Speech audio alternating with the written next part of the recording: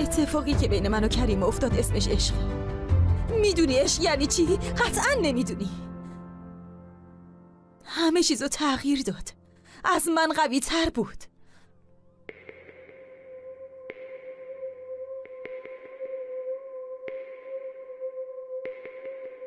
همش تقصیر خودته.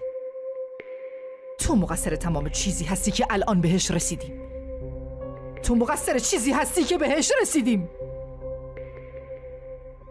چرا اینجوری می‌کنی؟ چرا این کارو کردی چرا؟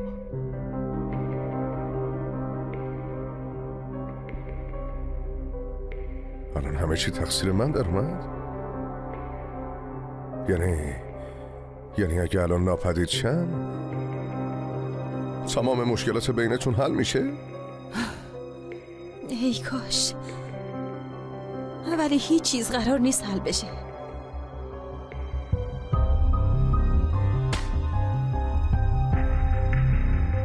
تو با خودت چی فکر کردی؟ اینکه بینمون یه رابطه ای بود و تموم شد. یه ازدواجی که تموم شد. مثل تمام این ازدواجایی که صورت می‌گیره. عادیه. طلاق گرفت یه خانواده از بین رفت. عادیه؟ معلومه که عادیه. در نظر تو. چون نمی‌دونی چقدر برام با ارزشی. چون نمی‌دونی چقدر دوست دارم. و در ضمن من می‌دونم عشق یعنی چی. صد بارم بهت گفتم. همه چی رو ازم بگیر.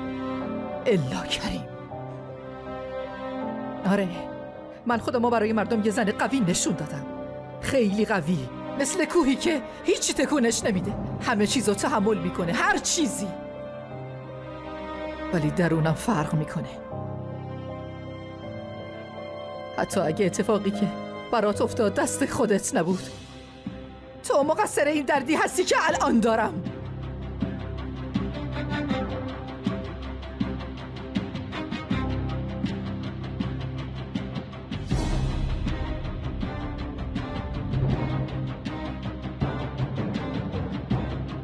من حالم با کارم خوب.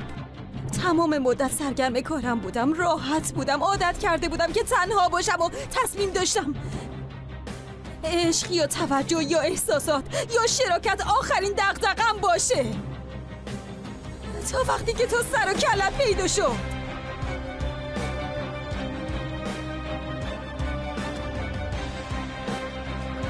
تو مقصری.